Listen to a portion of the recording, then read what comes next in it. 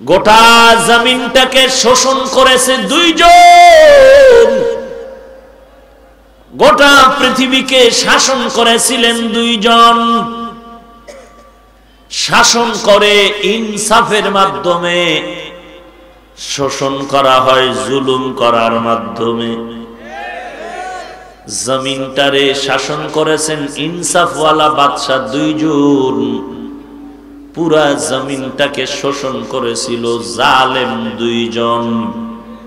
জালেম একজন নমরুদ আর একজন হলো বুখতে নসর, কেউ বলেছেন সাদ্দাদ মুসলমান দুজন শাসক, একজন পয়গম্বর সুলাইমান আর একজন হলেন জুলকারনাইন। সুলাইমান নবীর দেশ শাসনের ঘটনা সুরায় নামল উনিশ পাড়ায় বিদ্যমান। জুলকারনাইনের দেশ পরিচালনার ঘটনা সুরায় কাহাফের মধ্যে বিদ্যমান রে গোলাম। এই জুলকার জুলকারনাইন ইন্তেকালের পূর্ব মুহূর্ত ভক্তদের বলে গেলেন, ও আমার ভক্তের দল, ইন্তেকালের পরে আমার জানাজা হয়ে যাবে। জানাজার পরে আমার লাশ নিয়ে কবর দেশে যখন যাইবা, তখন কাপনের ভেতর থেকে হাত দুটো বের করে মানুষের দেখায় নিয়ে যাই। বাদশাহ জুলকার নাইনের কথা মতে,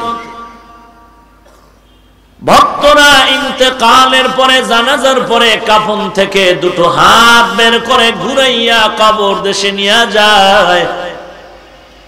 দুনিয়াওয়ালারা ডাক দিয়া কয়, তাকায় দেখ ওই দুনিয়ার পুরা ক্ষমতা পাওয়ার পরেও বান্দা লোক সামলাইতে পারে নাই। এখনও হাত বিছায় কয়, আরও দেও, আরও দাও আরও দাও। ইমানওয়ালারা ডাক দিয়ে কয়, না রে দুনিয়াদার বেইমান না না। বাদশাহ জুলকার নাই গোটা দুনিয়ার মানুষকে উপদেশ দিয়ে গেলেন, এরে দুনিয়ার মানুষ সারা দুনিয়ার ক্ষমতা আমি হাতের মধ্যে পাওয়ার পর আজ আমি খালি হাতে কবরে রওনা দিলাম। এ দুনিয়ায় সবই পর, কবর যে তোর আসল ঘর।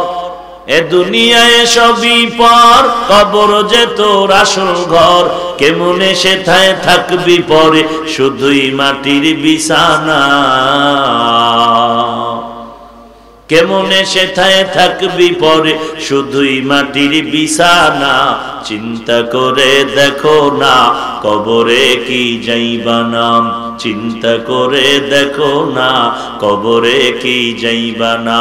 যেই কবরে আল্লাহ সারা বন্ধু কেহ থাকবে না, যেই কবরে আল্লাহ সারা বন্ধু কেহ থাকবে না, চিন্তা করে দেখো না, কবরে কি যাইবা নাম চিন্তা করে দেখো না কবরে কি যাইবা না ولنبلونكم بشيء من الخوف والجوع ونقص من الأموال والأنفس والثمرات ওরে বান্দা আমি তোমাদের দুনিয়ায় পাঠিয়েছি বিনা কারণে নয় তোমার পেছনে শক্তিশালী আসমান খেদমত করে, জমিন খেদমত করে, বাঘ গোলামি করে, মাছ গোলামি করে, বাতাস গোলামি করে, পানি তোমার গোলাম। অথচ আমি আল্লাহ, তোমার পেছনে তো বড় বড় শক্তিশালী চাঁদ, সূর্য গোলাম বানায় দেওয়ার কি কারণ? কেন তোমার চাঁদ তোমার গোলামি করে, সূর্য গোলামি করে, আসমান গোলামি করে? এর পেছনে কারণ কি? তুমি বন্দুক দিয়া গুলি মেরে আসমানটারে ফাটায় দিবা।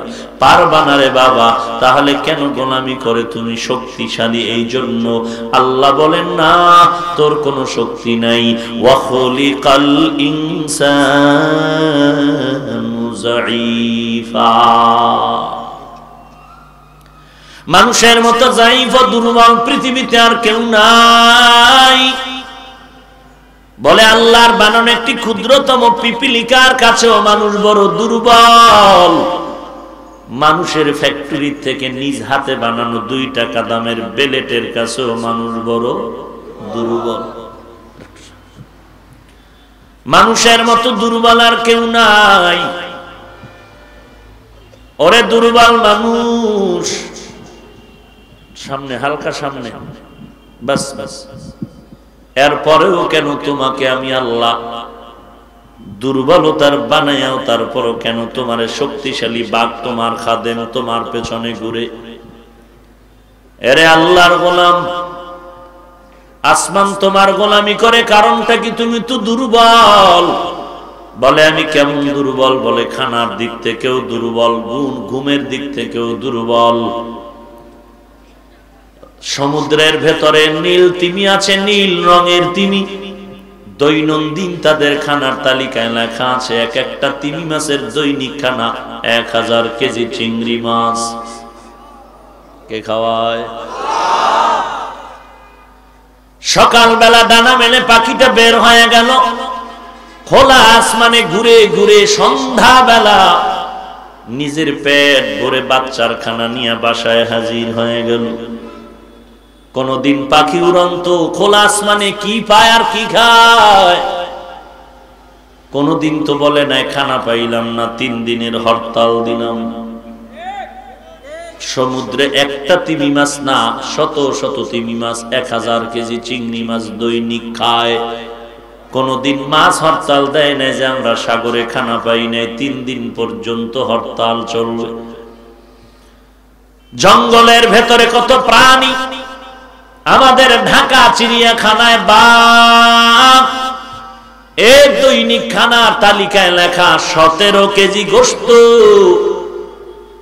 জঙ্গলের মধ্যে হাজার হাজার বাঘ ভল্লুক সিংহ প্রাণী আছে। এরাও কোনদিন খানা নাই খানা নাই বলে হাহাকার করে কাঁদেন নাই, বিলাপ করেন নাই, আন্দোলন করেন নাই।